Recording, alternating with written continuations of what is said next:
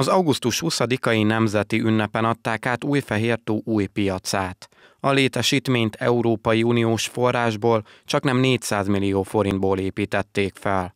Bár eddig az engedélyezési eljárások miatt még nem volt alkalom arra, hogy a város és a térség árusai, valamint vevői birtokba vegyék az épületet, néhány nap múlva erre is sor kerül.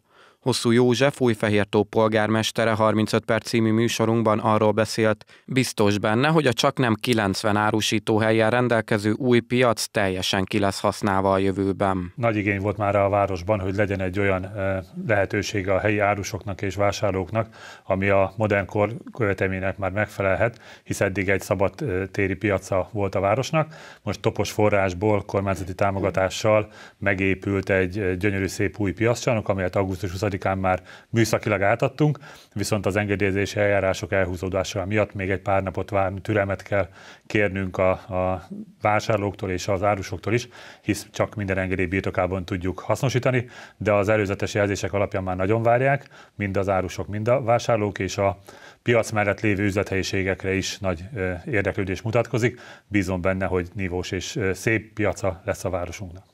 A közlekedés területén is számos fejlesztés megvalósult és folyamatban van Újfehértón.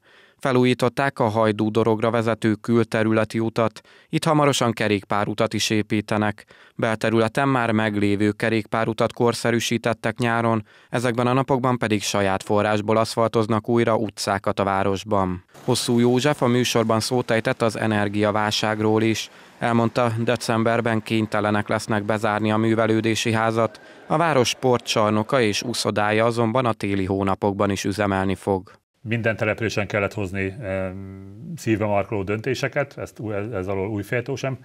Kivétel mi is átnéztük azt, hogy melyek azok az intézmények, amelyeket összevonással, átmeneti bezárással tudunk egy picit költséghatékonyabbá tenni.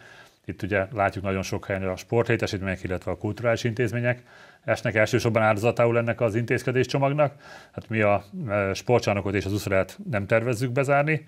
Ugye örömteli hír, hogy a múlt héten egy új egyesület is megjelent a városban, és a Nyíregyházi Aquase eh, vízlabdázói és úszói új féltón találtak ideiglenes otthonra. Nyíregyháziként én ezt külön köszönöm.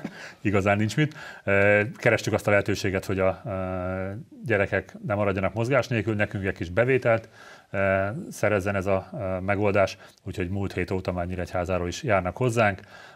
Teltházzal működik az uszodánk, teltházzal működik a sportcsarnokunk, és ráfizetéses, mert minden ilyen intézmény ráfizetéses, de úgy gondolom, hogy vannak olyan területek, ahol egy picit áldozni kell arra, hogy a, gyerekek ne otthon üljenek, ne a telefont nyomkodják, ne a városban olyan dolgokat csinálnak, amiket nem mindenki néz jó szemmel, hanem vigyük be őket a sport és a mozgás irányába. Hosszú József hozzátette, a városvezetés keresi azokat a pályázati lehetőségeket, amelyel a régebben épült épületeket korszerűsíteni tudják energetikailag.